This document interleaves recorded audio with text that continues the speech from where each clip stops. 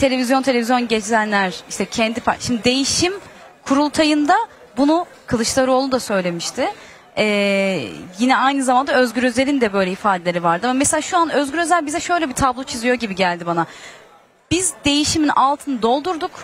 Biz bir yol kat ettik. Partimizi yerelde iktidarda yaptık. Bundan sonra önümüzde böyle bir süreç var. Bir çizdiği böyle bir tablo var ama aynı anda hala parti içine verdiği bazı mesajlar var.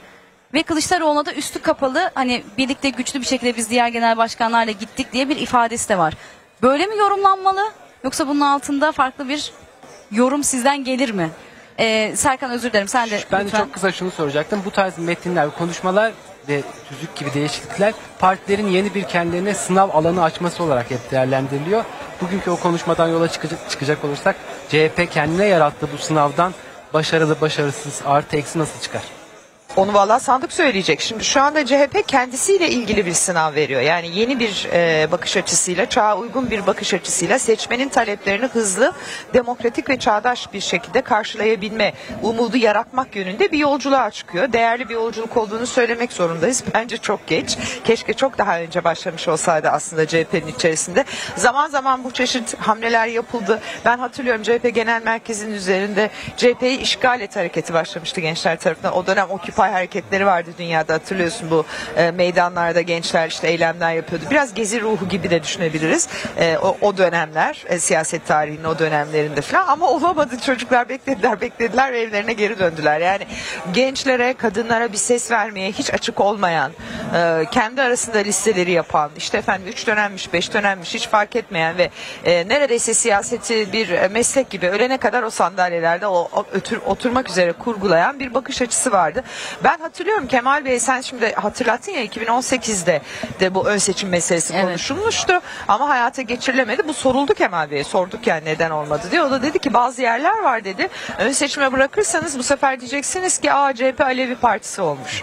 E iyi de Bunu Özgür Bey de ifade ediyor. Örneğin Balıkesir örneğini çok sık veriyor. Evet. Körfez'deki üye yapısıyla iç kesimlerdeki üye yapısının orada kullanılan oyun e, işte 8 tane milletvekili varsa buna dair de ama çözümleri üretmek de aslında bir siyasi partinin Tam o işlevi. aynı şeyi söyleyecektim. Yani e- eğer öyle oluyorsa sonuçta eğer e, ön seçim uygulandığında dahi demokratik bir yapı çıkmıyorsa CHP'nin içerisinde o zaman dönüp genel başkana ve bunu e, hayata geçiren e, e, politikanın kurmaylarına sormak lazım. Siyasetin kurmaylarına sormak lazım. Siz yaptınız yani. Sizin yarattığınız bir sistemin bozukluğundan dolayı e, siz şikayetçi olamazsınız yani. Çözmekte sizin elinizde olmalı diye bakıyor insan.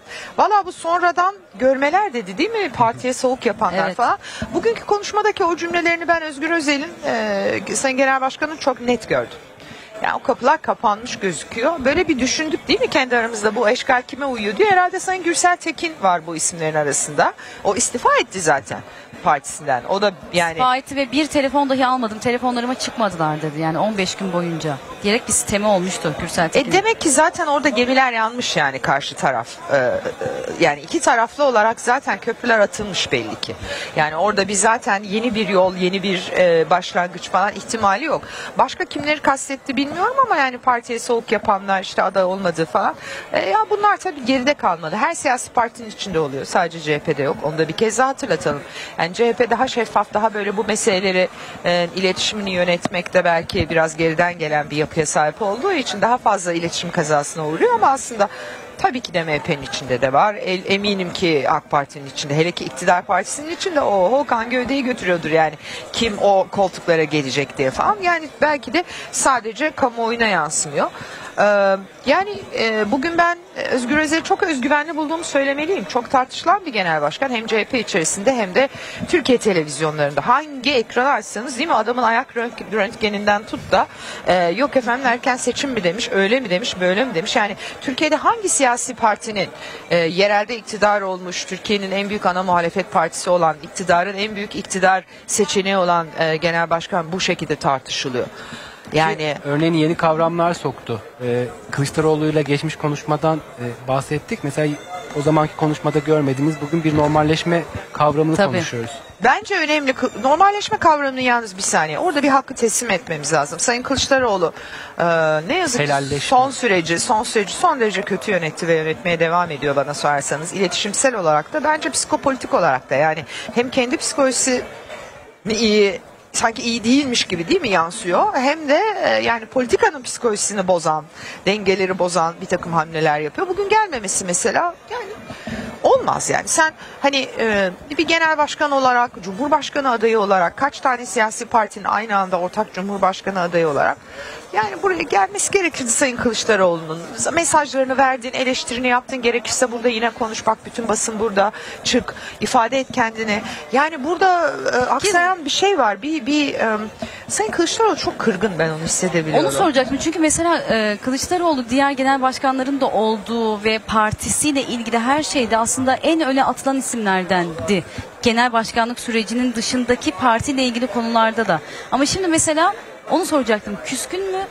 Değişim Ya e, ben bence iki şey hissediyor sanki. Yani bir kere bir hakikaten ciddi bir kırgınlık yaşadığını tahmin ediyorum. Bir de böyle onun böyle kendi içine patlayan bir öfkesi var galiba. Yani çok dışarıya yansımayan, e, çok dışarıya ifade etmeyen kendisini ama böyle e, kendi içinde onu yoğun olarak yaşadığı böyle bir iade-i itibar ya da bir bir hakkın teslimi gibi bir şey bekliyor Sayın Kılıçdaroğlu. Çünkü tam o cümleyi söylüyordum. Normalleşme dediğimiz şey Kılıçdaroğlu'nun kavramsallaştırmasıyla başladı.